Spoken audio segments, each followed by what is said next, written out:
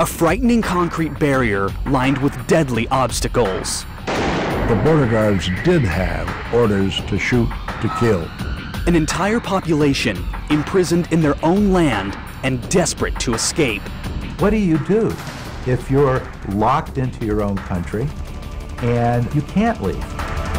Only a precious few would survive the battle and make it under, over, or through the Berlin Wall.